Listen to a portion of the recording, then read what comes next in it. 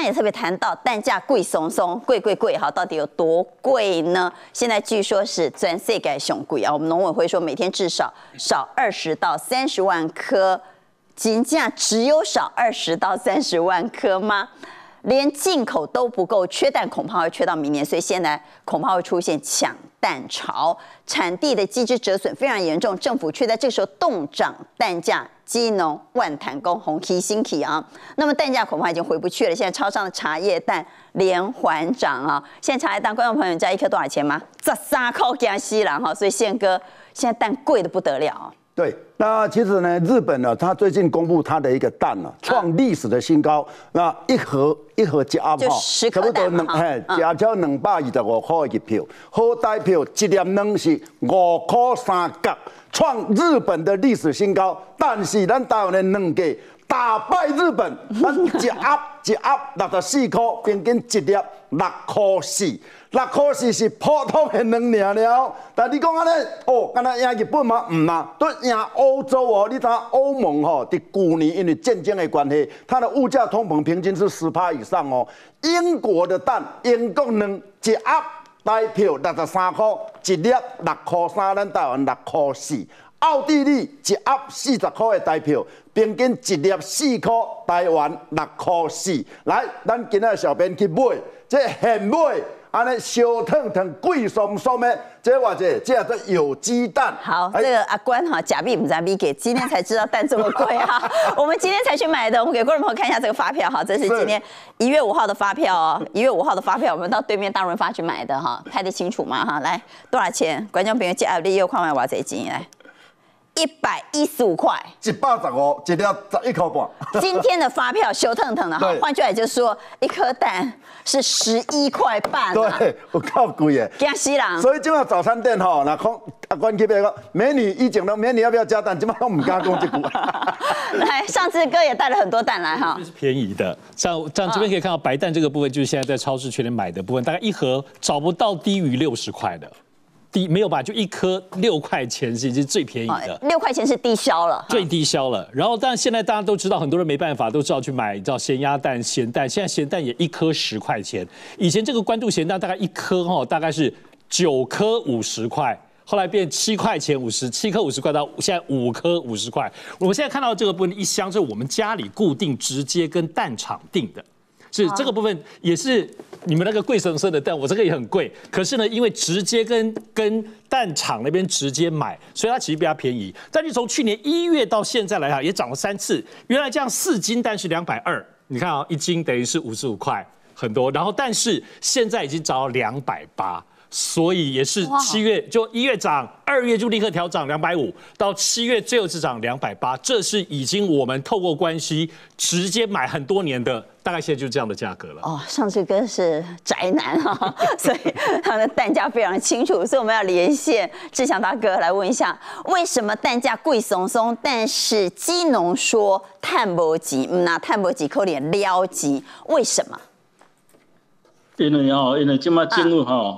伊伊辅导的是吼高单价啦，品牌蛋啦，因为品牌蛋一颗蛋吼都超过八块、九块、十块都有啦。是。啊，我们我们产地的蛋吼一颗才四块半啦，所以哦这个价钱哦真的落差非常大啊。一颗四块半，可是外面现在已经卖到那么贵了。大哥，我问一下哈，外传农委会要求你们基农在这个产地哦，产地的价格。动涨有这回事吗？讲每当起价是安尼吗？哎，因为讲袂使起价啊。啊，为什么袂使起价？即摆零售价就是伫菜市啊价小这么悬，为什么咱的鸡农袂当起价？因为若起价影响到大众物资啊，伊伊因为伊伊这算吼，算逐个拢拢会当消费啊，所以这价小一定爱动啊。所以这个四块半是偌久以来拢无起。好，四箍半几六个月啊！伊这冻，就上啊拢冻掉的，伊伊即摆都冻掉的，无法阮去啊！啊，无法阮去，因为阮即摆逐项成本拢足悬的啊！啊，所以阮也嘛嘛是无法度饲啊！啊，伊若爱继续冻吼，阮可能过年吼，会搁一足大铺的换毛啦！因为你你一个过年吼，阮拢两一箱两吼，等于一斤两减十二箍啦，一箱两减两百四十箍吼，阮无法度饲啊！我的其实讲，你们就红盘就更小了。现在再来讲贵你大哥，我打岔一下，拍谁哈？因为听无，然后我们是行啊外人，你是行啊来人。我问一下啊，你说我到期的意思就是说你们就不做了是吧？就没办法养鸡了。因因为阮建议是做好，因为阮袂合，阮袂合嘛，阮饲袂合嘛。啊，现在成本啊管，成本两百两百二十块，哦哦，迄个两箱，所以阮会合啦。好，两百二十块是虾米钱？来，小人家来讲，两百二十块是虾米？费用我们等会再来谈哈，但是我想知道的是，为什么你们刚刚说有可能如果再继续冻涨哈，你们就没有办法活了，就活不下去了，就不做了。高涨的成本主要是来自于，主要是禽流感也有啦，哦，啊，因为这鸡鸡真正无法度饲啦，较早的鸡卵有法度生到所有伫个七成半八成啦，嘿，即马差不多六成啊，六成六成半尔啦，所以因为。天气天气无稳定啊，天气，所以即个鸡要多排气啊。那饲料的价格是不是也很贵？很贵啊！本来去年的时候，去年的时候一斤饲料十块啊，现在十七块啊，你看差多少啊？所以饲料价格大涨，天气不稳定，再加上禽流感，百分之七十有啊。好，所以影响到你们的产量，但是农委会又要求你们冻涨哈。虽然终端的零售价涨翻天，但是基农其实没赚到钱，因为一直都冻涨，停在四块半。问一下大哥，你多少公贵你哈？还两百几块什么钱哈？什么费用？较早是叫做红盘啦，红盘啦，红盘就是讲，这个一箱两两百二十块是要生理人赚的。嘿。哦，啊，即马吼，即马即马农业出来吼，出来协调，讲袂当有红盘这个价钱。所以你讲的行李人大哥，你讲的行李人是蛋商吗？就是收两个这个大盘哈。哎，两两箱两箱。啊，蛋商。所以你们过去有一个叫做红盘价，你们要给蛋商过年的时候要给他红盘价。啊，今嘛金护工美塞户籍的红盘价，啊，那你能免付啊？干不是？无啊，今嘛变加班费啊，没有红盘价，伊都变相的啊，那个意思一样的啊。红盘没有变加班费，我们还是要付。所以你们过年时候还补贴蛋商就对了，所以对入海，所以所以要我们要怎么养啊？啊，那各位听我们讲哈，我们不是有蛋价委员会，因为你都爱提供哈冻涨，你今天很伤了哈，今天挖到这，那冻涨怎么会冻涨？因为我们有蛋价委员会可以去协调，干不西吗？不会挽回啊。每个月都要去台北中央市场那协协商这个蛋蛋价问题，可是协商到最后也没有办法有个共识，没有用，这个都没有用。哎，这只是只是他们他们农委会叫我们过去之后大家协调啊，协调到最后已经协调一年多了，没有什么进展啊。那委员会来宾刚有咱的基农有啊，啊为什么没有主导权呢？啊主导权叫农委会计划，所以咱去开的是开假了，对啊。开假，现在我唔知啊，就是农委会计划就不能涨啊。啊，开几波，恁讲要去，但是农委会讲无到起，就是无到起，所以迄开嘛无效了，对啊啦。因为因为你若有一个共同的平台，我们哦，蛋商说要涨，我们说要涨，那就涨了嘛。可是农委会就说不行啊，要维持现状啊。那他们讲的很好听，就是哦，他不干涉。不干涉我们的价钱，他不干涉，可是他在暗中也是会讲说不能涨啊。不是不能涨，不就是干涉价钱了吗？不能涨，不就是干涉价钱了吗？大家不晓得不晓得我们的内幕吗？好，那蛋商到从大批发到中盘到小盘到菜期啊，这中间有没有嘎爪？有没有？就一箱蛋从我们这边出去就一。一箱蛋就是四，反正一颗蛋差不多四百五嘛，一一箱蛋是四四百一，四百一嘛，一箱蛋呃八百一嘛，八百一是从我们这边出去嘛。对。哦，啊，到到消费者买到的差不多要一千一左右吧。哦。那差真的差很多了，真的差非常多了，所以所以就是要赚的也是生意生意轮赚比较多啊。啊啊，但是。咱饲鸡的鸡农拢无赚到就对啦。啊，饲鸡啊，你若鸡啊有顺，哦，就算还可以赚啦。啊，如果像现在这个流感这么严重哦，啊又天气又又这么不好哦，要赚真的不太可能啦，真的不可能啊。好，我们等会也来请教现场的来宾哈，来救梦姐的为什么哈，这个熊秀到底是像单价居高不下，凶手到底是谁？因为那个。那个基隆它本身的一个成本增加，但是政府说你一定要动涨。那动涨的话，那很简单啊，我我就是用那老鸡母鸡减蒙蒙蒙生的好啊。我我爱都买新鸡啊，我买新鸡来卖好啊。啊，你给加限制伫每迄个两拢四块半，啊，我即马卖起的，你外口明明卖六块四啊。六块四是边境价啊，对不？啊，中间拢用赚的，啊，你这个中间的迄个大盘、中盘、小盘层层剥削，你政府无法度去，无法度去甲限制，无你毋著甲限制，限制讲你迄落超商敢若会使卖到五块半，你若毋敢甲限制，你毋敢啊？啊，毋敢是啊害着消费者，啊消费者就都骂政府，啊政府就都等于啊迄个、迄个、迄个山鸡鸡笼，啊鸡笼就无爱无爱饲，啊无爱饲就继续都关起来，啊关起来，蛋商就都一个坐坐地喊价，啊变恶性循环就造出来。我问一下志强大哥，志强大哥，刚刚宪哥有谈到都是老鸡在生哈，安丹博斗买中鸡和雏鸡吗？为什么咱这么转台湾拢是老鸡在生蛋？因为这点吼，我要甲大家报告吼，就是讲现在的中鸡啊小鸡，因为因为咱拢进口入来，咱的进价拢进口入来，啊进口入来，因为外国伊的禽流感非常的严重，伊嘛无给予咱啊。嘛无计互咱啊，啊，所以咱咱无计人入来，一直阮饲鸡，阮饲鸡，阮鸡老啊，无法度饲啊，嘛是爱去人买老鸡来饲啊。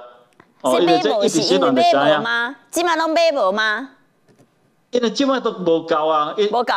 一般一般诶诶鸡仔囝吼，都无无无够卖迄个卖卖阮生两个啊，所以都无无计人饲啊，啊，所以就一直老鸡一直宣传，一直宣传啊。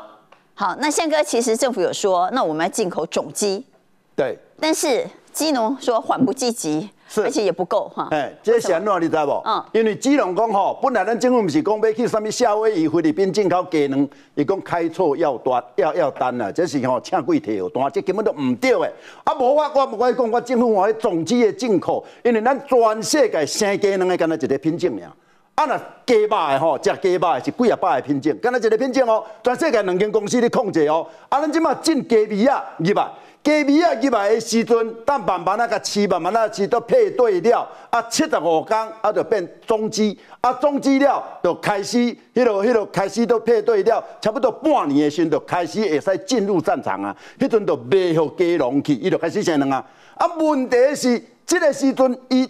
开始生两只的种鸡了，伊都开始生鸡仔囝出来，鸡仔囝爱用个也要生鸡卵，爱都差不多四个月。所以如果真的种鸡进来的话，蛋种鸡进来的鸡米啊，饲个大只，大只都生迄个迄个雏鸡，雏鸡了都变蛋鸡的时，这中间前后多十个月。所以现在进口种鸡缓不积极啦，维护养狗拔草啊啦，对吧？维护嘛哈。来问一下尚志哥，因为你很你也做了很多功课哈。政府冻涨，但是并没有禁止进口，而且进口的量越来越多，这也是助长了蛋价高涨的原因之一哈。没错，当然蛋价高涨最主要就是缺蛋。那么缺蛋的部分要看政府评估的缺蛋。现在刚刚提到，一开始标题有写，政府预估在每台湾每天的缺蛋是二十万到三十万颗，可是养鸡协会实际估全台湾每天可是缺八十万到一百万。你看相差是这么，所以政府有没有可能错估情势？非常有可能，而且因为这么长时间这个蛋价这么高，已经错估非常长。你说政府没有做事还是有，所以政府其实想说就进口蛋价，那么看可不可以平稳。但问题是，就像宪哥讲，最最贵的有多，结果你进口，特别是从美国进口，而不是从泰国等等这些比较便宜的地方进口。你知道美国的蛋价有多贵吗？以今年十二月，就是上个月当中，美国感恩节的蛋价已经来到一打五。五点三六块美金，就是大概到一百六十二块。美国现个一颗蛋十三块半啊，台币。所以你现在你大量的进口，比台湾现有的还要更贵的蛋进来，你不是就是虽然你大量进来，可是不是又把整个价格拉得更高，因为你进来的都是更贵的蛋，所以这真的是有点不得不说有点莫名其妙。当然，现在在整个过程里头，就刚刚讲，现在蛋商哦，像刚刚包括李局长提提到的连线的时候，他说现在是蛋商还跟他们进，可是说实在，现在蛋商也很没有办法进到蛋，因为就像我现在面前这个，像这个就是我们家，就是像类似企业订蛋，很多蛋商是直接就是被这种企业，我们这些人就是直接签订，我们是有绑约的，所以他现在就是缺蛋缺这么严重，他到处收购。各各地方的蛋，然后来满足他的合约，否则蛋商也很苦，蛋商也其实蛮苦的哦，所以都找不到蛋，因此到处都在缺蛋的时候，从蛋农、蛋商，然后包括到消费者，大家都只有只有很贵的蛋。但是这里头有个非常重要的地方，就刚刚提到的，政府冻涨，冻涨不是在零售价，而是在产地的蛋农。所以在这个部分来讲，卡在这个时候，其实消费者都觉得我们买的那么贵，大家都觉得是不是就是蛋农在大赚？今天节目不讲，我们都不知道哈。蛋农一颗蛋才四块多而已，而我们都要买到十几块这样子的这个价格的部分选珠，这就是现在整个在台湾蛋价从消费端生产当中大混乱的原因。好，来志强哥、建文姐来哈，志强哥你还在线上吗？哈？建文姐，政府冻涨，但是并没有禁止进口。啊，这边进口愈来撸去哦，今年敢若进口诶，我惊死人，两千五百二十七公吨，创十年新高。这个进口诶能给这么贵，不让我们的蛋农涨价，那干嘛哩？你干嘛贵松松去买外国的呢？嗨，我嘛做无奈呢，真正做无奈呢。你因为阮阮农民，阮阮的希望就是希望讲政府吼。你会当有诶市场机制吼，该去你爱去互阮，你毋好搁逐阮冻冻涨，因为你冻涨，阮无法度趁嘛，无法度饲。啊，你搁你为着吼要冻涨，啊，你搁对外国进口你嘛吼，啊嘛是打击农民啊，啊，你讲对农民偌照顾？好，所以我们希望呢，政府听到鸡农的声音，同时也不要小看一颗鸡蛋，一颗鸡蛋很有可能是新一波通膨风暴的导火线。好，谢谢志强哥接受我们的视讯连线。